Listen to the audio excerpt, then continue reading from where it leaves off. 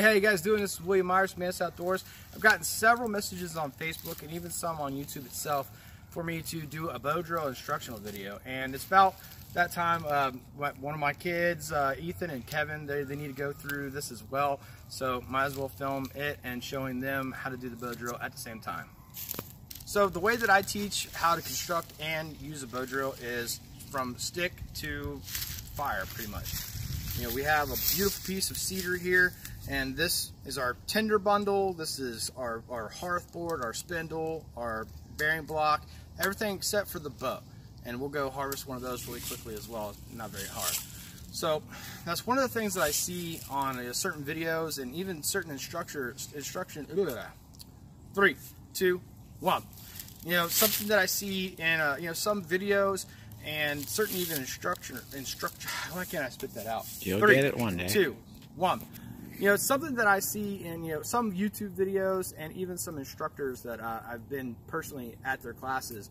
Um, you know, saying, "Well, we gotta go and we gotta find a sycamore for our spindle, and then we're gonna go try to find um, you know poplar for our hearth board, and you know we're gonna make a grab a stone and we're gonna bore it out for for a handhold." You know, that's just nonsense in my opinion. You know, in my opinion, the practical application for something like this is if you had to absolutely use something like this, you're you're not going to want to be trying to hunt down seven different kinds of wood for your bow drill. You know, you just need one really good softwood, poplars, white pines, uh, red pine's a little bit too um, resiny for it. White, you know, even white pine, if you get the wrong piece, you're not going to have very good luck. It's just so much resin, but it can work.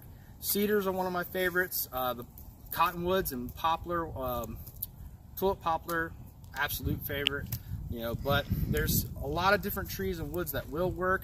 Even if I don't know exactly what the tree is, if I'm and like on the west coast and I have no idea what this is, I know I can know that this is a potential wood that's going to give me uh, a coal just by touching it, feeling it, putting it to my cheek when it's split, putting my fingernail in it. Okay, this is a really soft wood because it leaves real easy fingernail, fingernail dents. You know, I really can just barely even touch that wood and leave a fingernail indent. That's one indication that I'm gonna have success, hopefully. So we're gonna get the kids involved here. We're gonna have them saw this up. I'm gonna be showing them how to bust the boards out, carve it up, stuff like that. So let's get to sawing this up and get to making the bow drill. So there's two different ways you can do this. One, you can do it just the way it is. You can hold it just like this and you can saw it or you can use a plumber's vise which is kind of crouching and doing it when you want to do it. Plumber's vise is like this.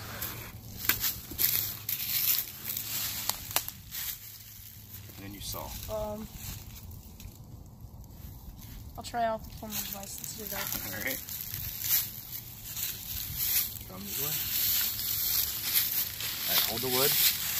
Put it between, exactly, just like that. And now you're going to be squeezing it with your leg and then holding it against your leg, tight against your leg. And I want, probably Kyle, I would get over mm -hmm. there this way. And then I want probably about right there. You got it. Right here? Down a little bit more to that knot. Right, that'll work. That'll work. Yep. Stop. Take your hand up a little more. Right there. Good.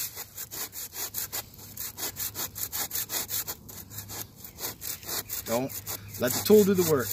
Just go back and forth, don't push. Use the whole saw. It's there to use all of it. Might as well use it.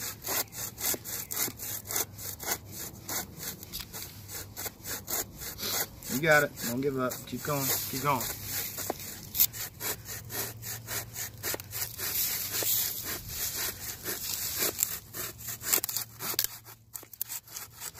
you go. Good All right.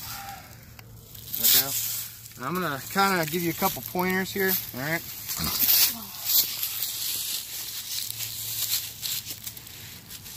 So when you're sawing, you don't want, like I said, you don't want to be pushing down. We need we need about like this because we could probably bust a, a bearing block out of that piece, but I'll just saw this just because to show you. You know, to start it, And I'm not pushing. I'm just letting the saw do the work. You know, I'm using the, all the saw that I can right to the very tip. Oh. Just like that. That was Alright. way better than me. Right. It's alright. Alright, so like I said, this is going to be our bow drill set. It's also going to be part of our tinder bundle.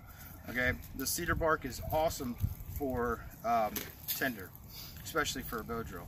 So what I'm going to do is I'm to take the back of my knife and I'm just going to scrape down and I'm going to harvest that cedar bark.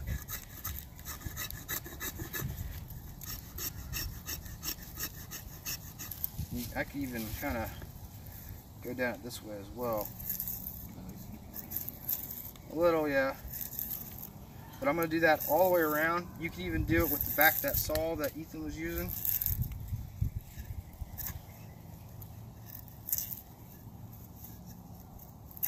This whole, the whole piece that we harvested is going to be used for our bow drill. Alright, so we'll do that with all the pieces that we sawed and then I'll give this to you guys to kind of work into a tinder bundle, okay? All right, so this is the piece that I'm pretty sure that I want for my hearth board. All I have to do is really just look at it, see where the heartwood is, and then kind of punch it out. No, I don't want to do anything like this with an axe. You know, people are like, why would I baton a knife? This is one of the reasons. I want a specific cut out of this wood.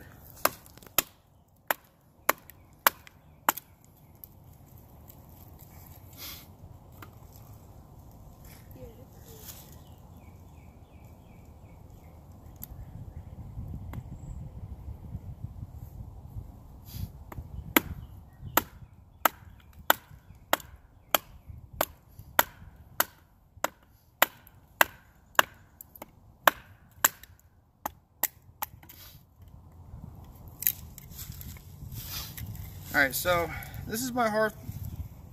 It's not, in my opinion, ideal. There's a lot more, a lot more heartwood in there that I would normally get. So now this next step that I would do is probably clean up this wood, this board. So what I would do is what uh, I use planing, and that's why I like a nice straight edge knife because I can sit here and plane out this board and get a flat surface really quickly.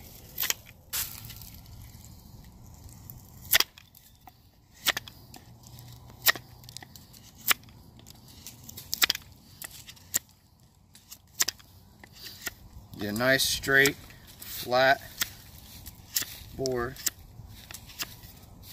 Flip it around. Do the other side.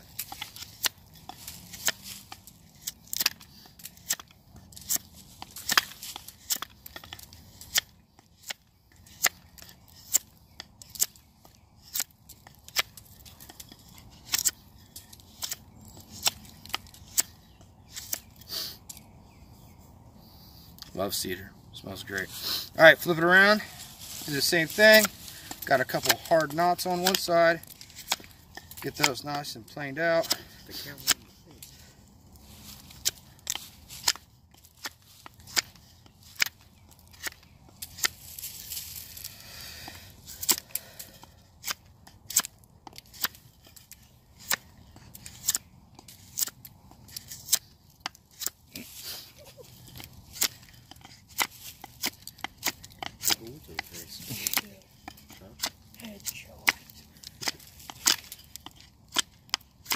There we go. They get past that knot.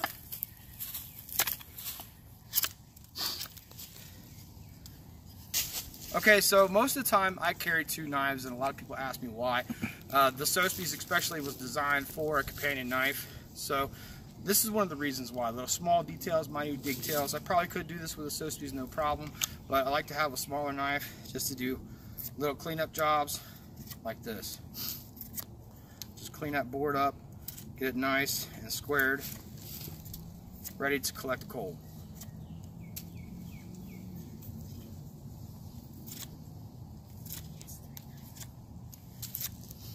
Some of the other smaller detail stuff like cutting notches and stuff like that could more than adequately be done with a Sotheby's. It's faster and a little bit more efficient, with a smaller blade that I can get in here and rock back and forth and do the real fine detail.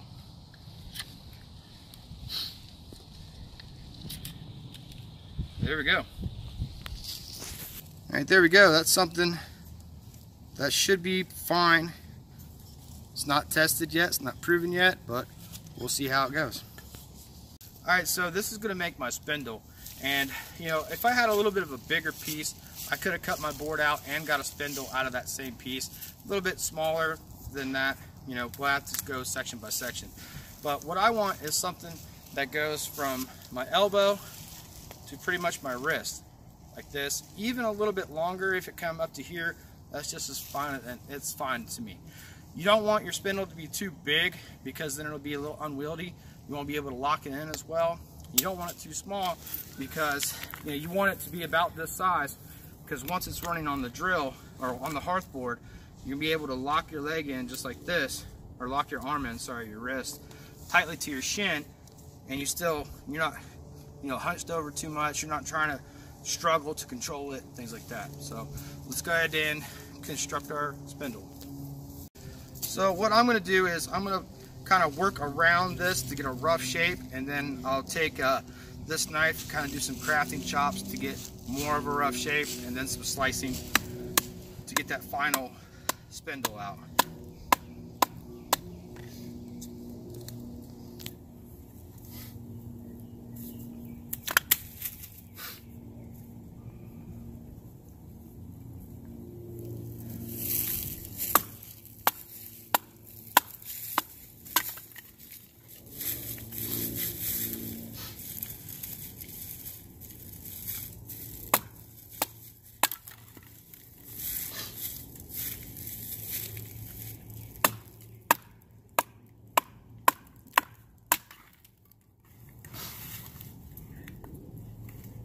Obviously all this stuff can be used for the uh, the actual fire that you're going to be making. It's not like you're going to discard all that nice fresh cedar.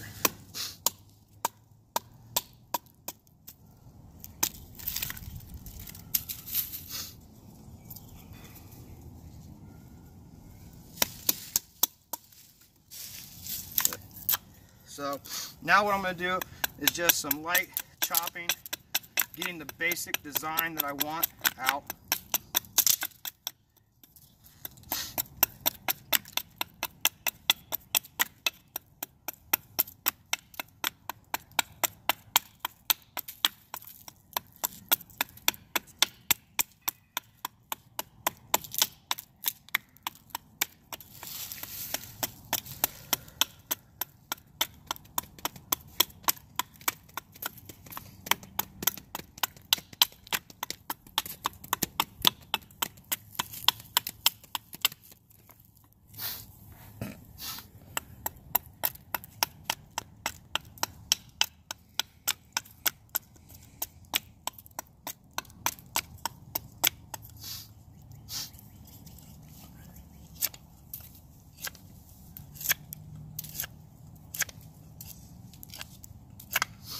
One thing that I see some people do that leads to a lot of failure is they think of a spindle and they get this thing just perfectly round.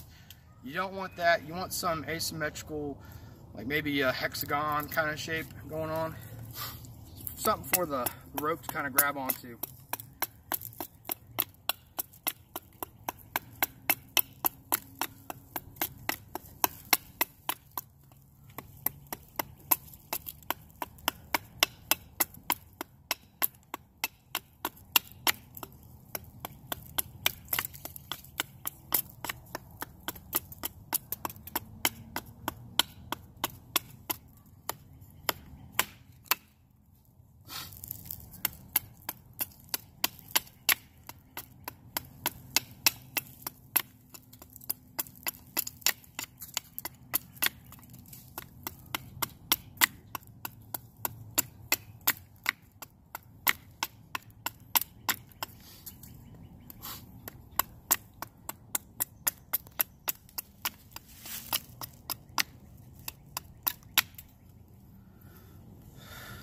All right, so that's my basic shape.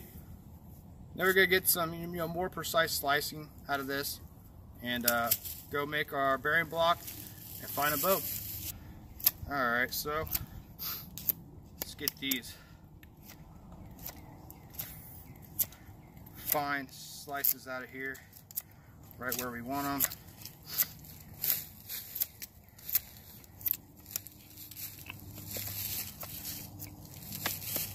Nice little knot up there, knock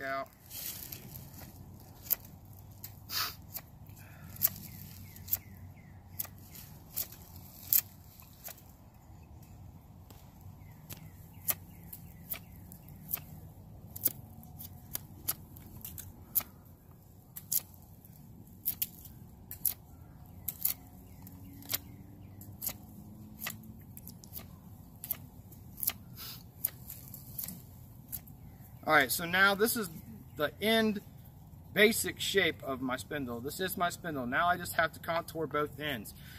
And what I need to make a decision right now is what side is going to be on the actual hearth and what side is going to be in the bearing block.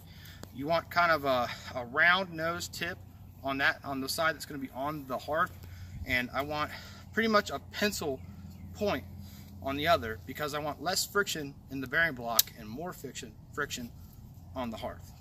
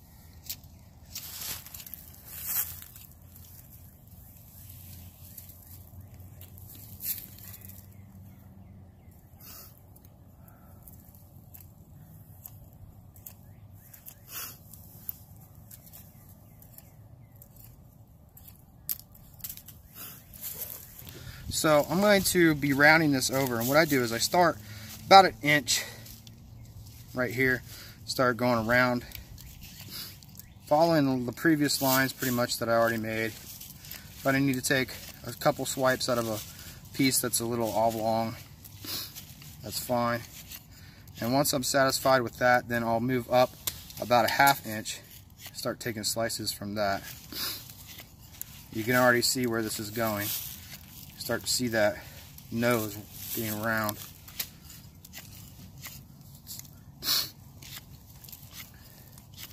Usually when I'm this far, I'll take about two passes and then I'll start moving up even more. And now I'm pretty much at the final part where I'll start knocking the tip off. And there you go. So this is another key to this as well, is if you see all these indents right here, it's almost like a soccer ball. That just grabs that wood and starts grinding it and starts heating it up together. We'll go through that here in a second.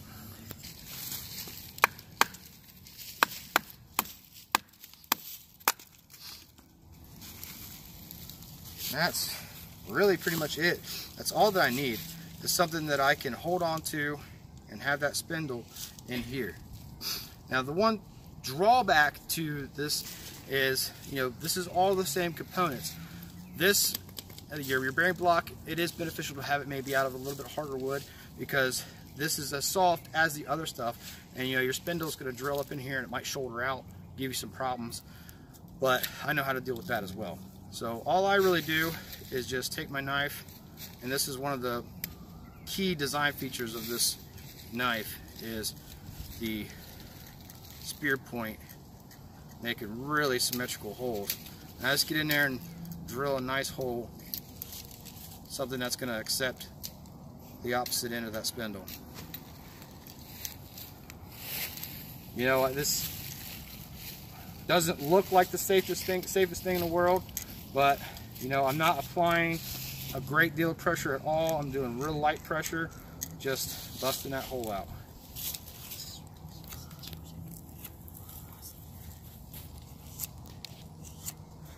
All right, there we go. All right, so, you know, this time of year, you're not really gonna find too much, but like uh, plants like common mallow, uh, sassafras, things like that are real mucilagenic. It's real easy to put those leaves into your bearing block and that's going to give you some lubricant up here. So like I said, you want very little, if any at all, friction up here. You want all your friction to be down here.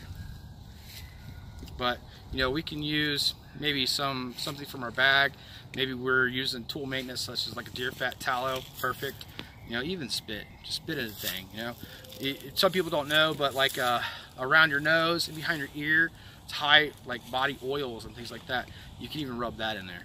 You know, anything to get a little bit of lubricant into that hole right there so you have as little friction as possible up here. You know, uh, this will do for a bow. It's flexible, but it's not too flexible. I might want something a little bit thicker, but we're kind of losing daylight and I want to get this video done and show them how to actually run on the board. So what I do is I put my potential bow into my armpit and then I extend my fingers. At the point of my index finger, that's where I want to cut. And I'll just take this and run it around three, four times. A little chilly out here, everybody's sniffling. God damn it. After I break that through to a couple of layers of the stick itself, knife away. And then I'll be able to get a clean break by going up down, left and right. Take, clean that up a little bit. All right, so that's pretty much my bow. That'll work. All right, so the next step is to mark the top and bottom. And all I'll do is just like beaver chew it. So I'll go around just like this. And I don't want to go too deep. I just want something so my rope doesn't slip up and down. So just beaver chew on one side,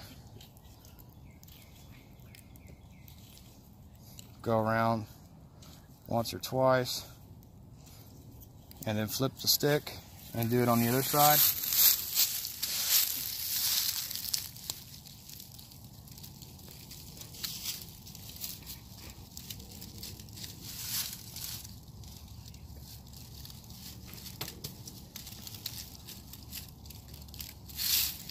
There we go.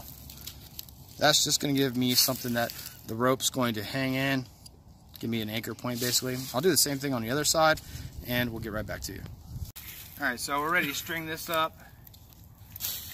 What I do is I kind of put the bow into my lap a little bit, bring the string up, around,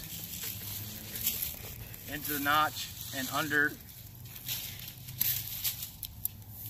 and then give that bow just a little bit of flex and tighten it up.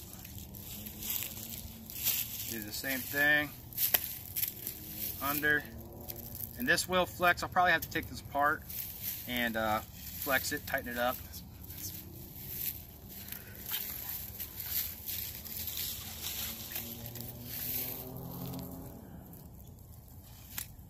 Let's go ahead and do that now. All right, you know, the, the, the stick itself is going to loosen and the nylon itself is going to stretch so just a little bit of adjustments that need to happen. That's good. That'll be good. For now, that'll be alright.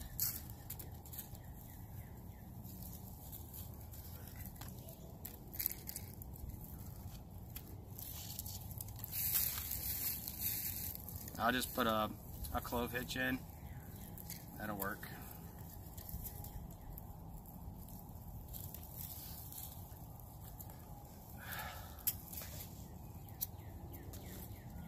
gobs of this. All right, so now we have to decide which side of the board that we're gonna run on. And one of the tips that I use is make sure that whatever side of the board that you're running on, you always make your hole as close to your foot as possible on this side of the board.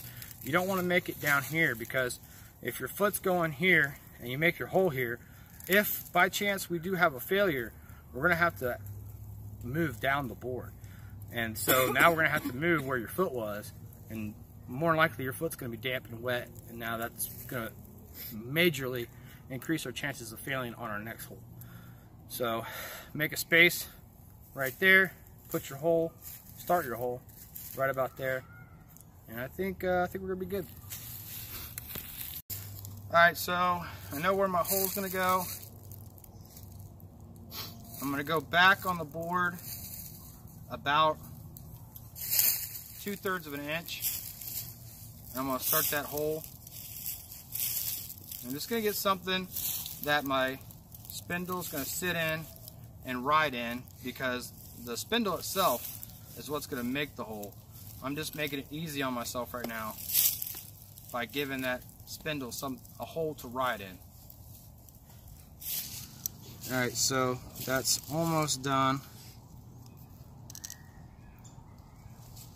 Again, just taking the spear point of that knife, just knocking a tiny little hole in the wood just like that.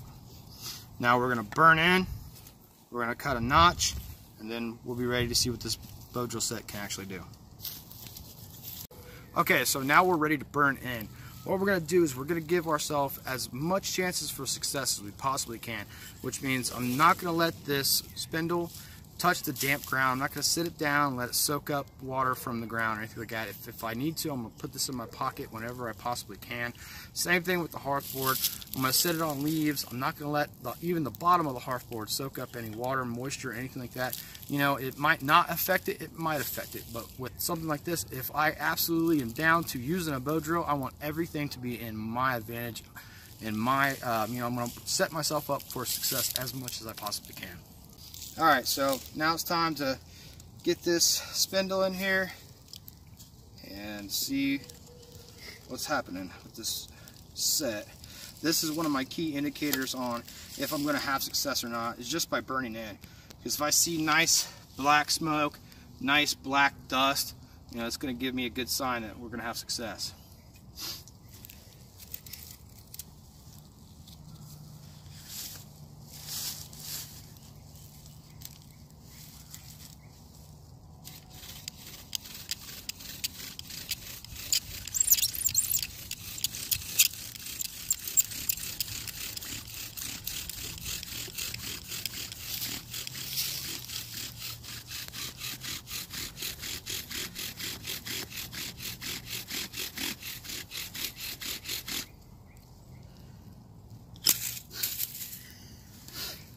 Okay, so I'm just burning in. I don't want to go too crazy with it.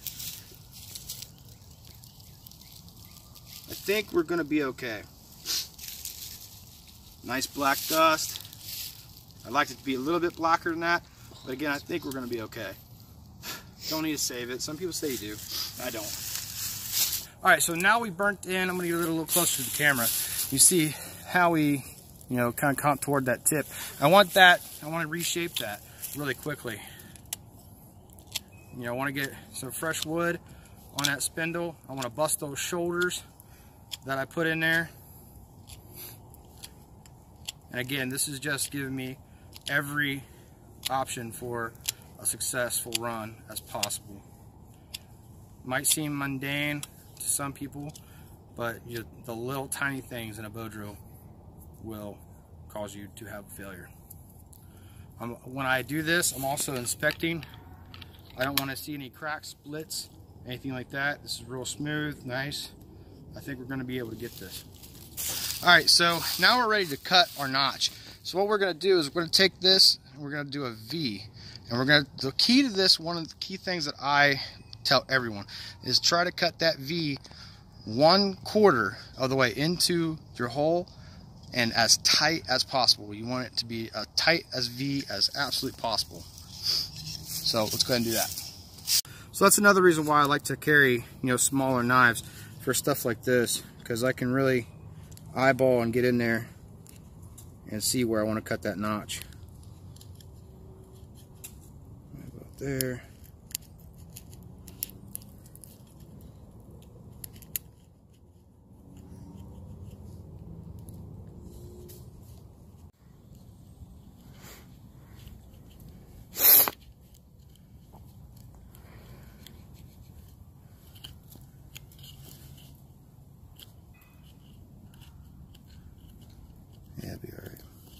All right, so one of the other things that I do is I bore out this and that allows for dust to collect and gather a little bit bigger of an ember and it also allows air to get to it more rapidly.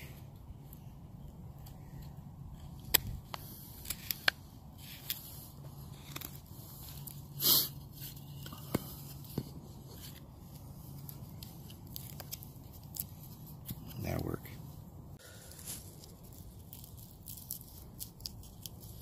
I just take a piece of this cedar bark, cut it just like that, and that will give me a tray for my dust to collect and also for me to knock the ember out. We'll also have a leaf underneath this as well. That just gives me a stable platform to remove that ember and then place it into a tinder bundle. Alright, so we're going to lay a leaf down and we're also going to lay our piece of cedar, cedar bark and our hearth is going to go right on top of that cedar bark. Just like that. Now we're ready to see what we got.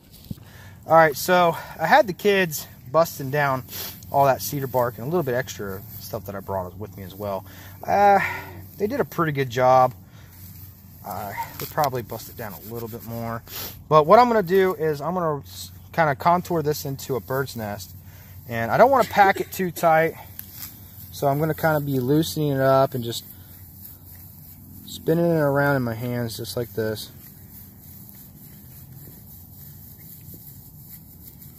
Some clumps there, I'll kind of even out and then keep spinning it. And what I'm looking for is for the bottom of the, the bird's nest to be a little on the thin side. So when I'm blowing, I'm passing the air through it completely. And we're just about to where I'm going to call this good. Just like that. So that's going to give me something to put my ember into and then pick up and then blow through it gently at first. And then I'll be able to squeeze this, kind of taco it a little bit, bring it up, breathe again through it. I want the air passing this web, bring it up into the air, is because I want the oxygen to be running through it and up. The heat's going to be rising through the tinder bundle, bringing this tinder bundle to combustion. This real, just when I start out, I can't be blowing on this thing hard. and that's one of the hard parts of this, is that once you guys get done, you're going to be winded because you're going to be giving it your all. So you just kind of, kind of, you got time, let the coal kind of congeal and redden up. You'll see it kind of glowing. Breathe, get your breath, relax, take a deep couple deep breaths, put it in your tinder bundle, and then we're gonna slowly breathe. And maybe even just kind of rock back and forth and get wind on it, just like this. Maybe, we'll see. I'm gonna show you guys how to do this, okay? And then slowly pick it up, and then bring it up like this, allowing, you know, see my hands, how they open up, allow the air to go through it, and you'll start hearing that jet. It'll sound like a jet engine. It's just, and then you'll, you'll hear it start to warm up and just, then you'll start seeing yellow smoke. Once you start seeing that, game on, you're pretty much good to go. So let's get to it. All right, so one of the biggest important thing about the bow drill is form, okay? How I run the bow drill, all right? Now, like I tell all my students, everybody's different, everybody's gonna do this different. Try to copy the form that I use as much as possible, but make it comfortable for you. If you're uncomfortable, that's not right, okay? So I'm gonna step on the board, but I want the arch of my foot as close to that hole as possible. And the reason why is when I put my spindle into the hole, I want it to follow my shin as straight as possible. Again, the reason why is because when I lock my wrist in, that means the spindle is gonna be as straight as possible, contouring to my shin. And another thing that that does is it allows me to push my body back or forward or side or side. If I see coal or dust rather, like maybe dumping on the top part where I don't want it to, I can push forward and that'll start to kick that dust into the notch where I want it to. Okay, so let's give this a shot, see what happens.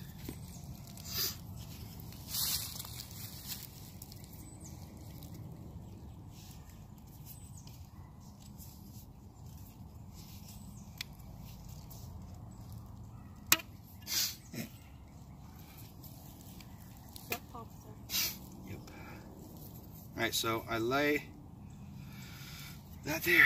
All right, so other than having my leg right here, I put my knee right behind this heel, just like this, okay? See? And then I kick that foot over, okay? That basically tripods my body out so I'm really stable, okay? And that allows me, one, I'm stable.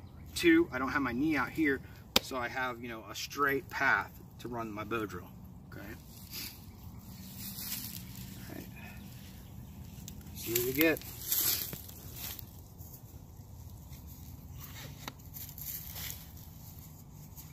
Now I'm gonna start out really slow, make sure I'm locked in real good. And what I'm doing right now is I'm just warming that spindle up into the hearth board. Both of them are warming up right now. You can, it's a feel, it's a hearing I can start to hear that cohesion. Everything's starting to heat up. See that smoke? I'm starting to get coal dumping. I'm gonna start to give a little bit of downward pressure and a little bit faster. I wanna use all my bow. Once I see that notch filling up completely, I'm gonna crank it.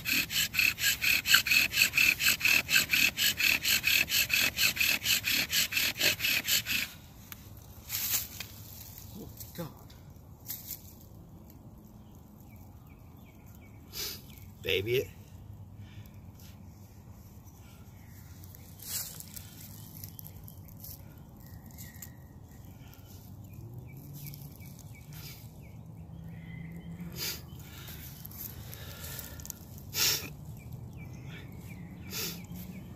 That's a fail. But you see all this dust that we have? You're. Just keep it.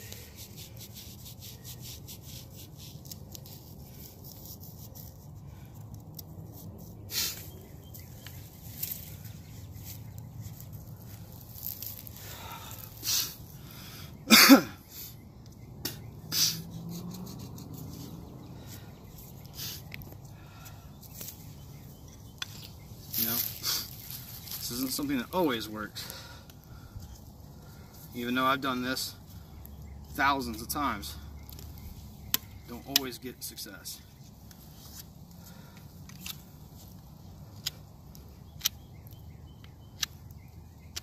Where do you not want that point? So I want this as flat as possible for the most friction as possible.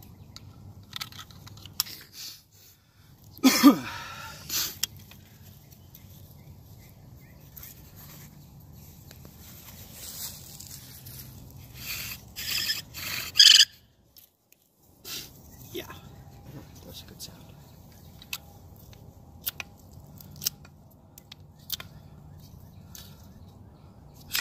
Up here.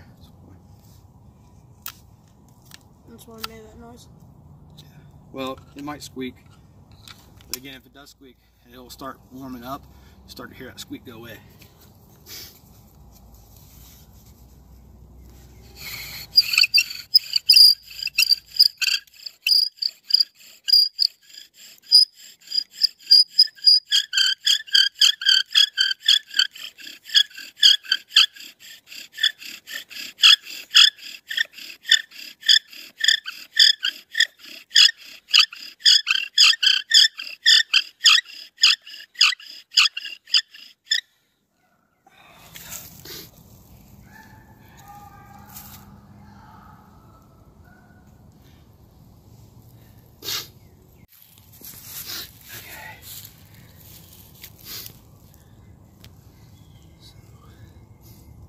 Just get cool.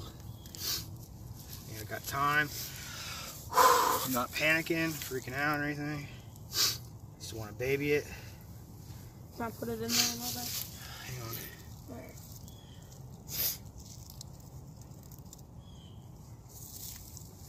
Don't want that cold to go out.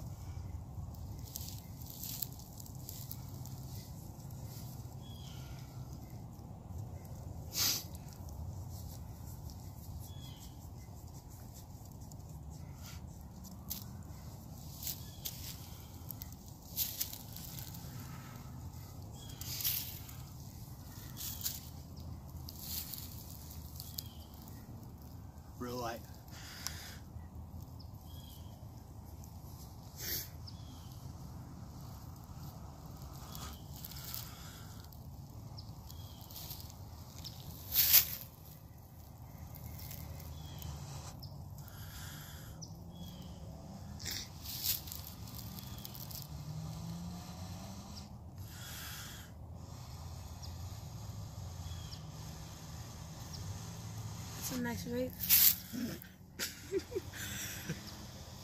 Nature's vape. Yellow smoke? Nope. Oh, that was really close to your face. Burn your eyebrows. Won't be the first, won't be the last time. Rub the.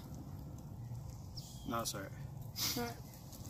And now from here, when you're adding your tinder or your, your kindling, you're probably gonna have to get in here. If this starts to kind of get low, you're gonna have to get in here. You baby it, breathe in it,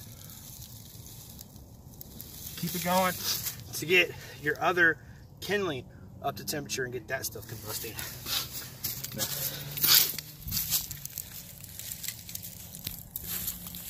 You guys got some really big stuff. You guys should have got maybe a little bit smaller stuff. But we'll see what happens.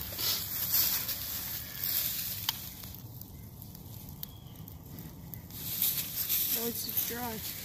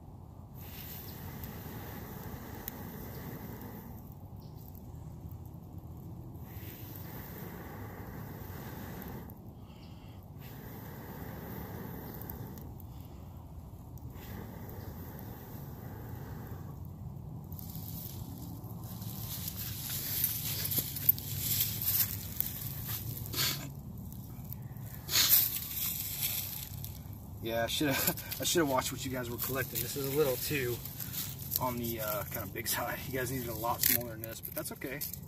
No big deal. It's your first time. I was busy making the bow and stuff.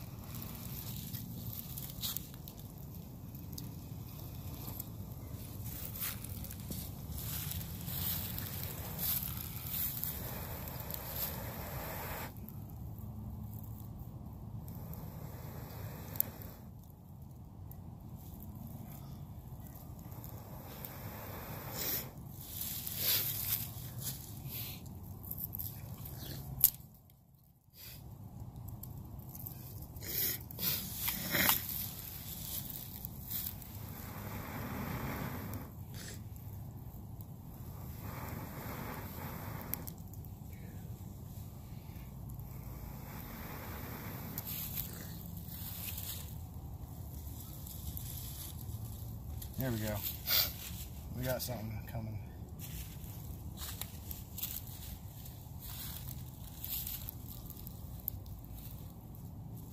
You know, the point of this persistence, even though you guys should have got like this stuff right here, like pencil lead, this whole bundle should have been this size. I wasn't really paying attention to what you guys were gathering, so it's kind of my fault. But even though I don't have exactly a perfect condition right now, I'm persistent. I'm keeping up with it. I'm not giving up. I need this fire, so I'm keep going, keep going, keep going. Never give up.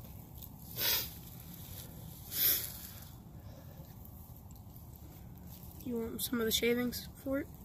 Sure.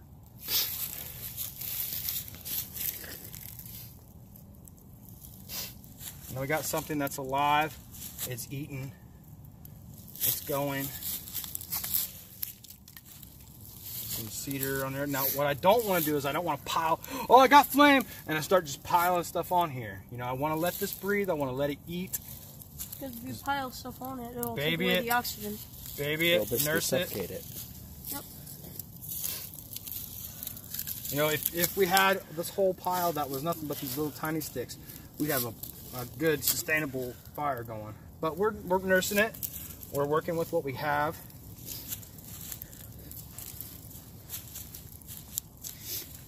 We'll get it going.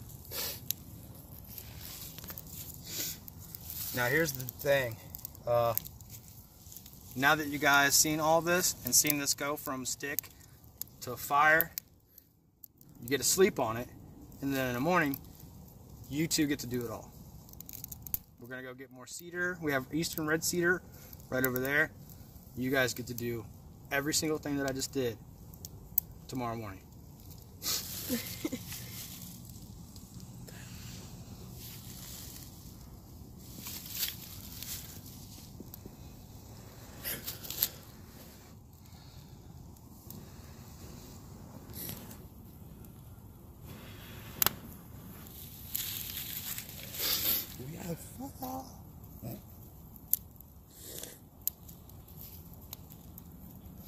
so we're really, really, really gonna have to nurse this. This is, like I said, like my, when I when I said get, go gather pencil lead type stuff, this is like where pretty much what I meant because we got a bunch of you know pencil size, It's and all wet back there. That's thumb why I didn't size. Yeah, that's okay. Like I said, this is just to teach you guys.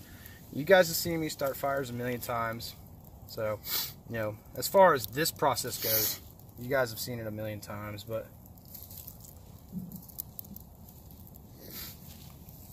We'll get this fire going, get some uh, get some food rolling, go to bed, wake up, get to it in the morning.